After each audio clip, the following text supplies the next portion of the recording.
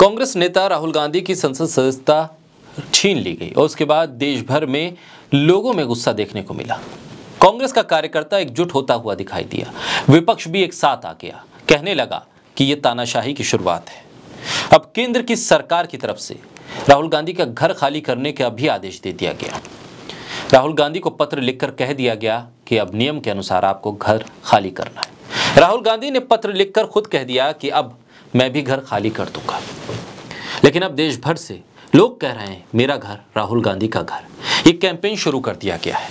कांग्रेस के कार्यकर्ता, नेता, मुख्यमंत्री, मंत्री, पूर्व सांसद, मौजूदा सांसद, बड़े पदाधिकारी, छोटे पदाधिकारी, सभी जुट गए और सब कह रहे हैं कि मेरा घर राहुल का घर और इस कैंपेन की शुरुआत ने और इस कैंपेन के आगे बढ़ने ने राहुल गांधी को मजबूती भी दे दी और कांग्रेस के लिए एक संतोष की लहर भी लाकर खड़ी कर दी है कि आने वाले मुश्किल घड़ी में भी अगर कांग्रेस का कार्यकर्ता राहुल गांधी के साथ खड़ा है तो वक्त बदलेगा और फिर इसी बदलने वाले वक्त के आस में कांग्रेस का कार्यकर्ता सड़क पर भी उतरेगा। बोलता हिंदुस्तान पर मैं हूँ आपके साथ, मिर्ज़ा शाकिर अली बेग राहुल गांधी की सदस्यता जाने के बाद लोगों का कहना है कि अब राहुल गांधी की सदस्यता इसलिए छीनी गई क्योंकि उन्होंने आम लोगों के लिए आवाज़ उठाई। उन्होंने करप्शन के खिलाफ आवाज़ उठाई, उन्होंने अडानी के झोलझाल के खिलाफ आवाज़ उठाई, उन्होंने मोदी सरकार और अडानी के गठजोड़ के खिलाफ आवाज़ उठाई, उन्होंने अडानी की धोखाधड़ी फर्जीवाड़े के खिलाफ आवाज़ उठाई। राहुल गांधी के लिए अब लोगों का प्यार भी बढ़ रहा है, विपक्ष भी साथ आ रहा है। सजता तो गई गई, अब घर भी खाली करने का जब नोटिस आया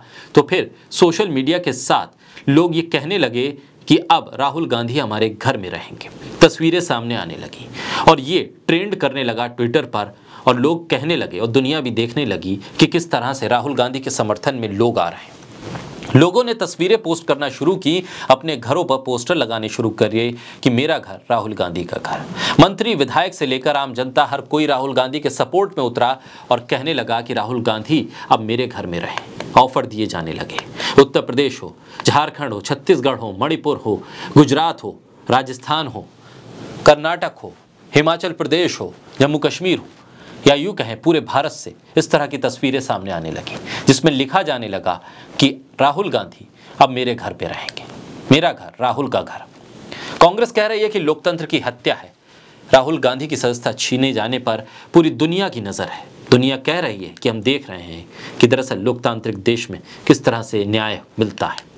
कितने मज़बूत है वो आरोप जिन्होंने राहुल गांधी की सदस्यता को छीन लिया। लोगों का कहना है कि जिस परिवार ने देश के लिए बलिदान दिया, देश को अपनी करोड़ों और लाखों रुपए की संपत्ति दान में दे दी, आज उसके वारिस के से घर छीना जा रहा है। उससे सरकारी घर खाली कराया जा रहा है। लोगों का कहना है कि सरकारी घर तो एक तरफ़ लोग अपने घर देने के लिए तैयार हैं राहुल गांधी के लिए, अपने घरों पर पोस्टर लगा रहे हैं और लिख कर बता रहे हैं कि राहुल गांधी अब उनके घर में रुक सकते हैं।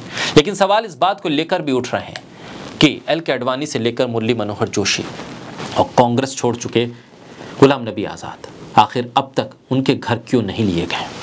आखिर उनको किस बात की छूट दी जा रही है? जितनी तुरंत कार्रवाई राहुल गांधी के मामले में की गई, संस्था छीनने से लेकर घर छीनने तक की, उतनी तुरंत कार्रवाई गुलाम नबी आज़ाद के लिए क्यों नहीं की गई? उनको क्यों मौके पर मौके दिए गए? क्या वो सत्ता के लिए मुफीद थे इसलिए? या फिर वो राहुल गांधी के खिलाफ खड़े थे इसलिए? आखिर राहुल गांधी से लेकर उनके परिवार के हर सदस्य को किस तरह से सरकारी आदेश हो या फिर गैर सरकारी तरीके से एक तरह से मोहरा बनाने की कोशिश की गई। राहुल गांधी को लेकर मोदी मीडिया के एंकर भी जिस तरह का व्यवहार करते हैं, वो साफ़ है कि उन्हें कांग्रेस से तो परहेज नहीं, लेकिन राहुल गांधी को लेकर वो तल्ख हो जाते हैं। एक महीने के भीतर सरकारी आवाज़ खाली करने के लिए कह दिया गया तो राहुल गांधी ने भी कह दिया कि मैं घर खाली कर दूँगा। सवाल यह है कि बारह तुगलक रोड, जो सरकारी आवाज़ था, खाली हो जाएगा। अब सदस्यता रद्द करने का मामला कोर्ट पहुंचेगा। अगर वहाँ से सदस्यता बहाल हो जाती है तो फिर वापस क्या यही घर राहुल गांधी को मिल जाएगा?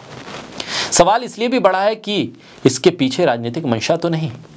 2024 को लेकर राहुल गांधी जितने तल्ख हो रहे हैं, अडानी से लेकर भारत जोड़ो यात्रा में जो मुद्दे बेरोजगारी, शिक्षा को लेकर उन्होंने उठाए, क्या उसके आसरे अब बीजेपी और उससे जुड़े हुए तमाम संगठन इस कोशिश में है कि राहुल गांधी के लेकर ऐसी स्थिति पैदा कर दी जाए कि राहुल की सदस्यता भी छीन ली गई, घर भी छीन लिया गया और कार्यकर्ता भी दूर हो जाएँ, ये एक रूपरेखा बनाई जाए।